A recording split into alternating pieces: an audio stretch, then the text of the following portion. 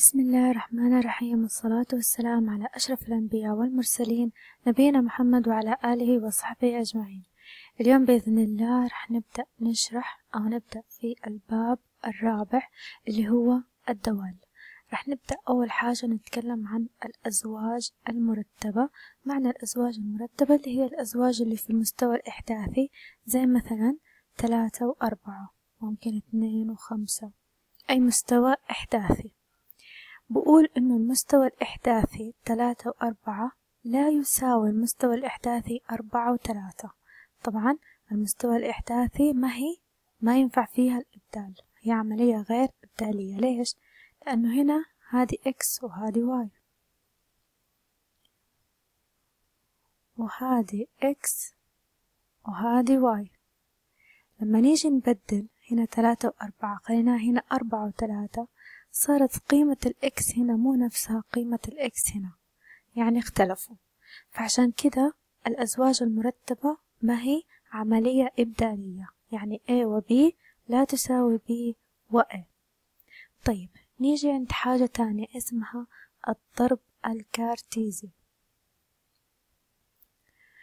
معنى الضرب الكارتيزي هو إنه راح يجي أزواج زي كذا A اثنين وخمسة وB سالب اثنين وصفر وثلاثة. ويقول أوجدي A في B. طيب إيش راح نسوي في البداية؟ راح نشوف الحرف اللي مكتوب هنا. المكتوب B A عفوا. مكتوب هنا في البداية A. يعني راح نبدأ في مجموعة A. طيب إيش راح نسوي فيها؟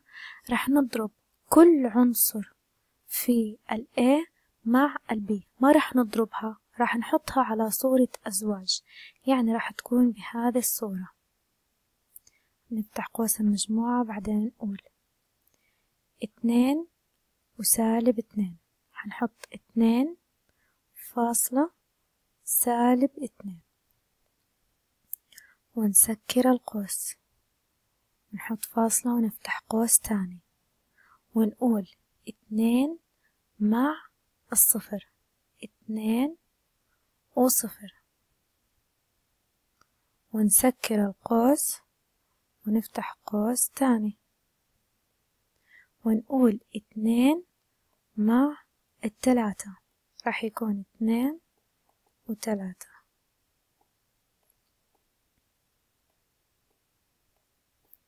كده نكون انتهينا من الاثنين. وانتهينا من كل الأرقام اللي في مجموعة B. بعد ما ننتهي من أول رقم في A ننتقل لتاني رقم في A ونفس ونسوي نفس الطريقة. نحط الخمسة مع سالب اثنين وخمسة مع صفر وخمسة مع ثلاثة. إذا راح نكتب خمسة مع سالب اثنين. وبعدين حنقول خمسة وصفر خمسة وصفر. بعدين راح نقول خمسة وتلاتة خمسة وتلاتة ونحط قوس المجموعة الكبير. كده نكون كتبناها على الصورة A في B.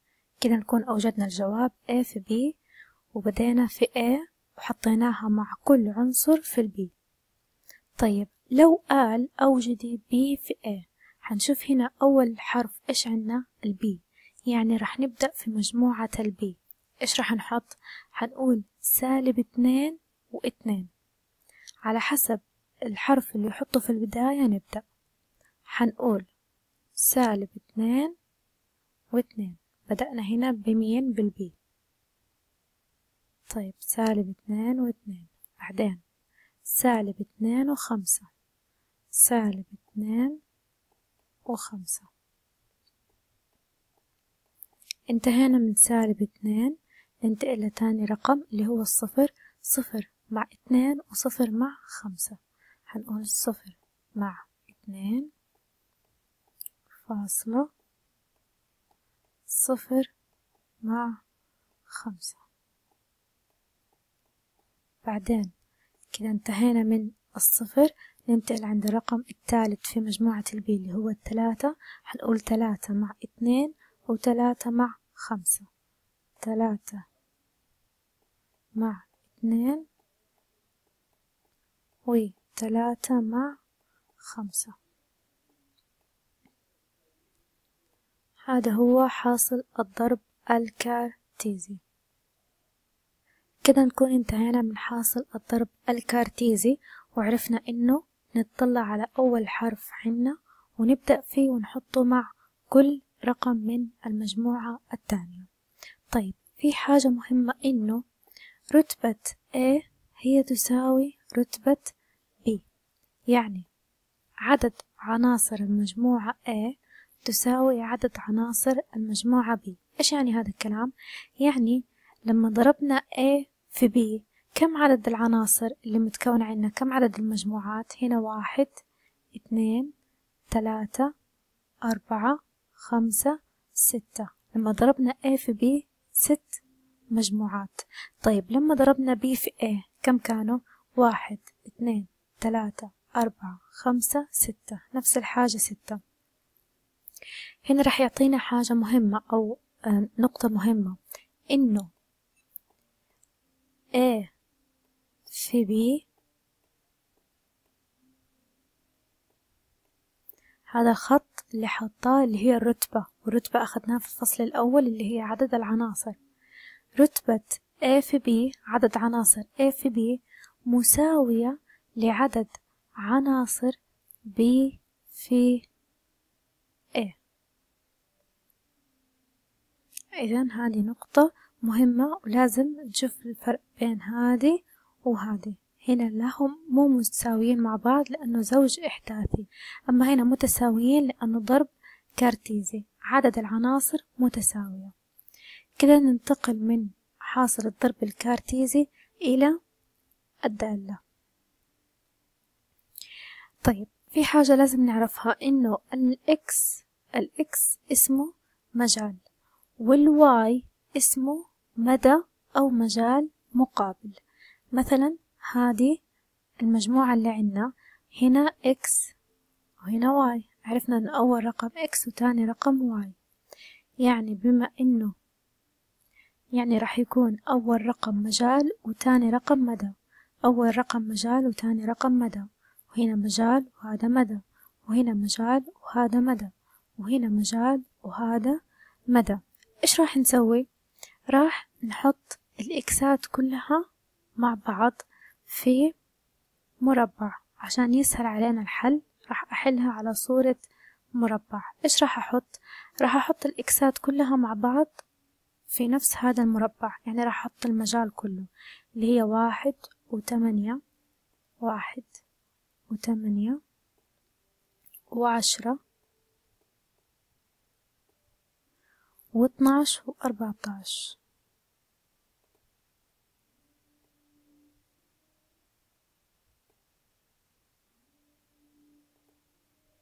و اثناش و أربعتاش كده حطينا ال X كلها مع بعض وال X قلنا معناها مجال.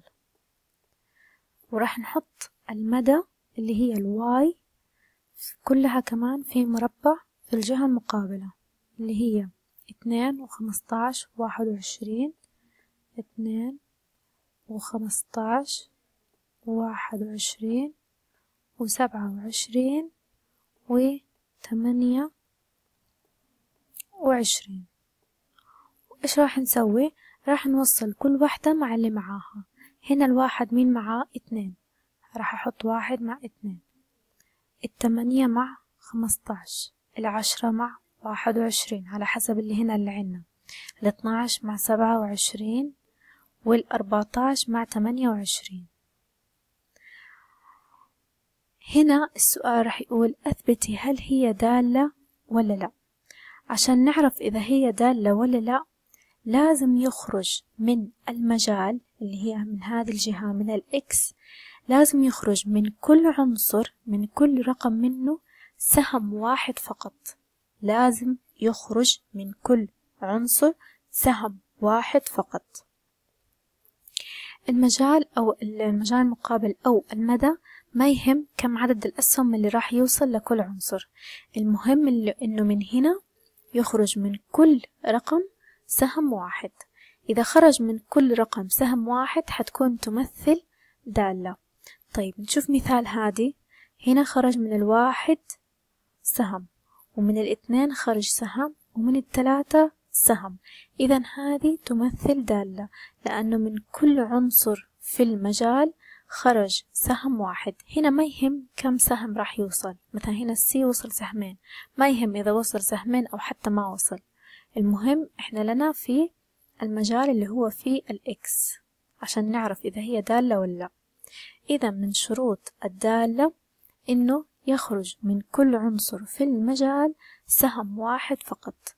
ولازم يخرج يجب أن يخرج من كل عنصر سهم واحد. نشوف الأمثلة اللي عنا واحد واثنين وثلاثة و A و C. بما إنه من هنا يخرج يعني هذا ال X وهذا ال Y راح نشوف من ال X كل عنصر هل يخرج منه سهم ولا لا. الواحد طلع منه سهم الاثنين طلع منه سهم الثلاثة ما في سهم إذا على طول لا تمثل دالة هنا واحد واثنين وثلاثة هذا اللي يخرج منه يعني هذا X وهذا ال Y هنا الواحد خرج منه سهم الاثنين سهم والثلاثة سهم على طول تمثل. هنا الواحد خرج منه سهم الاثنين خرج منه سهمين والثلاثة خرج منه سهم على طول بما إنه في رقم. طلع منه سهمين إذا لا تمثل دالة. إذا عشان تمثل دالة لازم يخرج من المجال عنصر واحد فقط. لازم يخرج من كل عنصر في المجال سهم واحد فقط. طبعا هي حتجيكم يا إما بصورة زي كده أو بصورة رسمة. إذا جاتكم زي كده أنتوا ارسموها. بس إيش؟ لو مثلا عنا هنا تكرر رقم واحد هنا بدل العشرة كان واحد. ما ترجعوا تكتبوا واحد مرة تانية خلاص هي عنا فوق. ما نرجع نكتبها مرة تانية تمام؟ إذا الأرقام المكررة مثلا إذا في المجال تكرر رقمين ما راح نرجع نكتبه مرة تانية. خلاص إذا هو عنا خلاص ما يحتاج نكتبه. ونفس الحاجة في المدى. المدى إذا تكرر رقمين ما نرجع نكتبه مرة تانية. تمام؟ آه كذا نكون انتهينا من المجال والمدى. آه أتوقع أنه آه باقي جزئية بسيطة. آه راح أشرحها في آه الفيديو السابق الجاي يعني. وإذا عندكم أي سؤال أو استفسار أكيد تقدروا تسألوني. والسلام عليكم ورحمة الله وبركاته.